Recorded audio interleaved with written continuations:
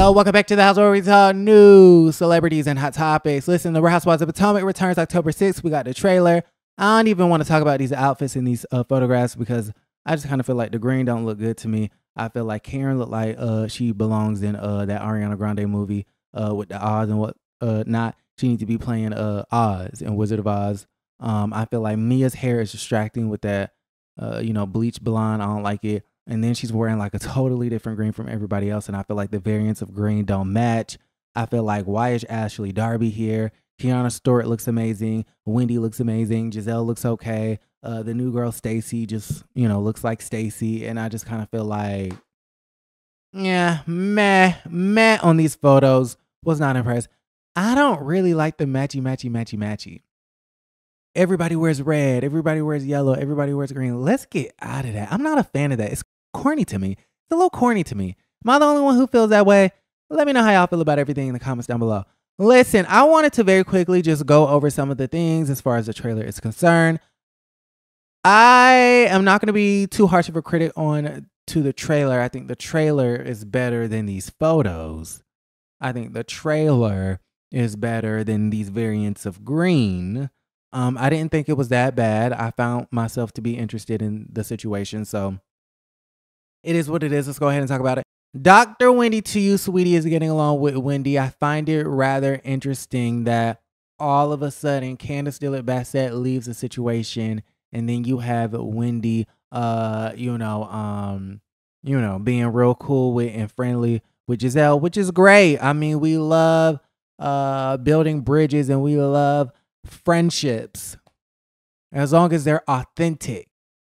I feel like it's probably authentic from Wendy's standpoint. I'm sure Wendy has wanted to be a friend of Gizelle's for a really long time now. But I don't really find it to be authentic of Gizelle. Gizelle is evil. She's one half of reasonable and evil. And I just kind of feel like uh the intentions are not pure. So Dr. Wendy to you, sweetie, watch your back. I kind of feel like now that Robyn is gone, she needs somebody to leech on to. Now that Candiace is gone, Wendy needs somebody to leech on to. And I guess they found each other. Okay. And uh, you know, later on in the trailer, we find out, I guess they're playing a game of who would you who would you rather they playing some game child. And like they ask Wendy, they go, Who you want to have sex with? And she go, I want to fuck Gizelle." And I was like, What? Okay, this is getting weird. Anyways, moving right along, we have Miss Stacy Rush Rouge. Somebody fact check me on what her name is in the comments down below. Listen, her man here is sporting a GNA t-shirt. What the fuck going on? They must be going to the GNA event. Listen, I guess that's all he can wear because what's going on with GNA? GNA update. Okay, GNA update, GNA update. Let's see if there are any new fashions on the GNA website. I mean, we do this every so often. And I am going to be so happy to report. Ciao. Okay, listen. Listen, there's nothing new on the website, no new fashions. However, we do have a new development. You can get the GNA tank top for a whopping zero dollars and zero cent. Hold on, hold on, hold on. Look at this. Zero dollars and zero cent. Boom. Now let's see if they charge me shipping if I buy it. Okay, let's go to this. I want a medium. Okay. Let's do one. Oh, pre-order. You gotta pre-order this shit. Okay, check out. $32. Hold up. It said from zero earlier. Now it's saying 32. Child. Okay. Well, I guess the GNA tank top is $32. It's not free. Okay. It was too good to be true. It was too good to be true. Let me show y'all. Okay, $32. It's not zero, it's 32. Anyways.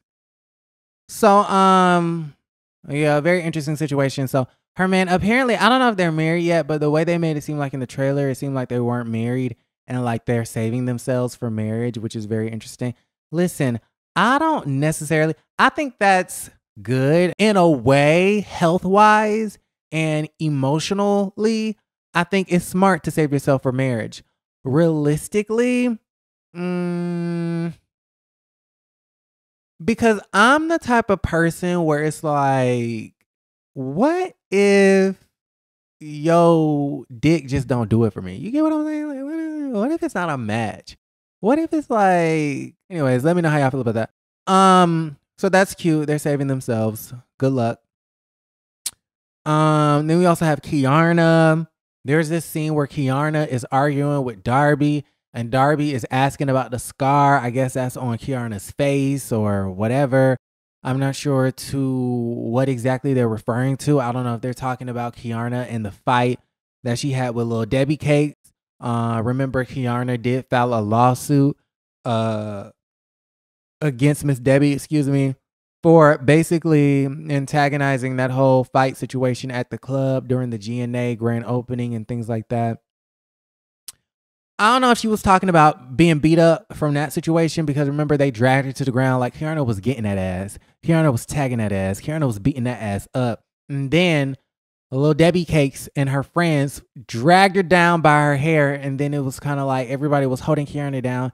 And then Debbie got some licks in. And then, you know, started punching Keiarna in her face. And then Keiarna had to go to the emergency room and get some stitches.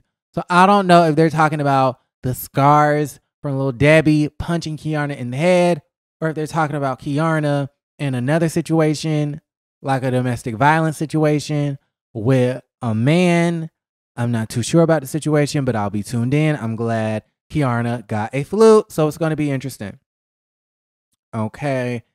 Dr. Wendy, she looks so, so, so, so good. I mean, I love her hair and her makeup. Whoever does the hair makeup. Wendy, I hope you paying your people real, real, real, real good. Okay, listen. We got Dr. Wendy to you, sweetie, versus uh Karen Huger.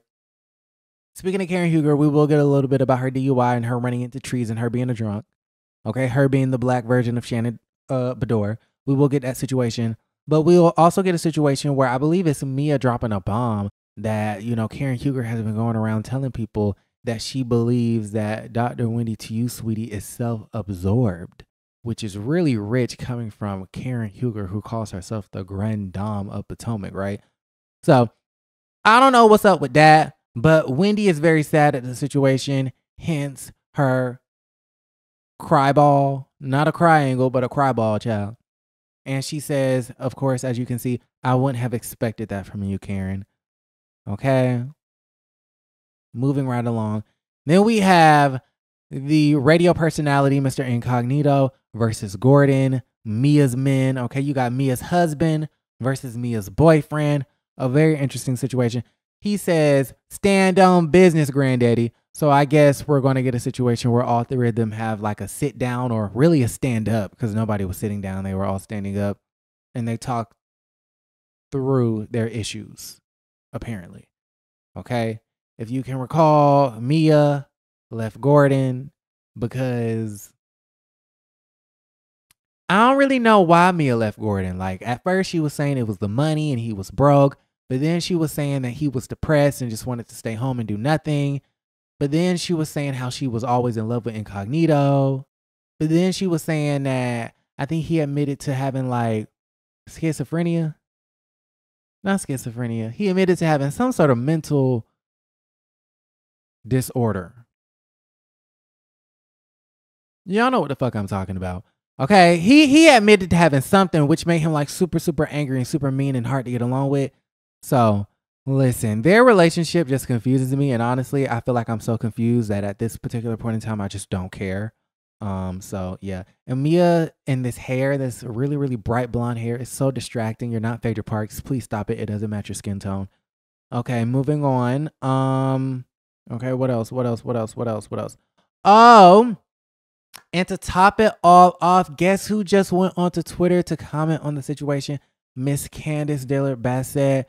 You guys, somebody went onto Twitter and said that Real Housewives of Potomac trailer was very underwhelming. That show really ain't shit without at the real Candiace. And y'all, Candiace responded and said, Child, Thank you. And I oop and I oop and I oop. Is she agreeing that the show ain't shit without her? She says, Child, thank you, but it's an ensemble cast for a reason. No one person can make the whole show. Y'all have fun with whatever is going to go. Mm. To be honest, at the situation, I don't even think Candiace Dillard Bassett should be uh, commenting on those ladies. I mean, of course, she can say what the hell she want to say. Um, but I feel like you know she's married to her uh, husband with the brown dick, Mr. Chris Bassett, who we absolutely love and adore. She's about to have her first child. Um, she's glowing. Her music career is popping off. So I just kind of feel like don't even give the ladies the time of day. Don't even mention Gizelle. Don't even think about Gizelle. Think about having a beautiful, beautiful baby, a beautiful, healthy baby. Let me know how y'all feel about the situation. Do you feel like the trailer was underwhelming? Do you feel like it needed some pizzazz? Do you feel like the show is going to suffer without the likes of Candiace Dillard Bassett starring alongside the ladies? Let's talk about it. Like the video, subscribe to the channel, and don't forget to create a great day.